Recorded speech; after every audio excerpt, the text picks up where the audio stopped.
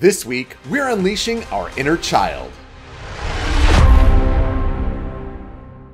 Dodge has launched a new marketing campaign for the brand's first muscle inspired crossover, the plug in hybrid Dodge Hornet RT. The new spot, Inner Child Intervention, takes viewers to the side of the road where a man comes face to face with a familiar looking boy and quickly finds himself on a joyride with his inner child, reminding him that horsepower keeps you going, but torque gets you going.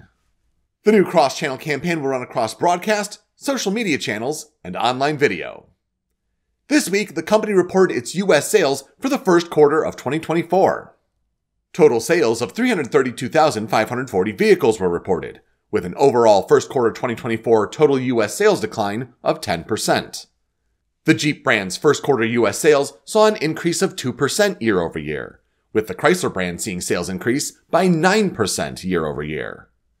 PHEV US sales saw an increase of 82% year over year, with the Jeep Wrangler 4xE, Grand Cherokee 4xE, Dodge Hornet RT, and Chrysler Pacifica Hybrid taking four of the top five spots for best selling hybrids in the US. The company is set to launch eight full battery electric vehicles in the US by the end of 2024. And the Jeep brand gave the people what they've asked for in celebration of 4x4 Day. Think pink. Backed by popular demand, the Tuscadero exterior paint color, an audacious, deep, and intense chromatic magenta, will be offered for the first time ever as an option on the iconic new for 2024 Jeep Wrangler.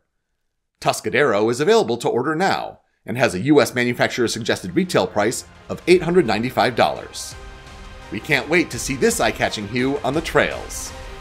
Those are this week's top stories on Stellantis Spotlight. Reporting for Stellantis Digital Media, I'm Peter Spezia.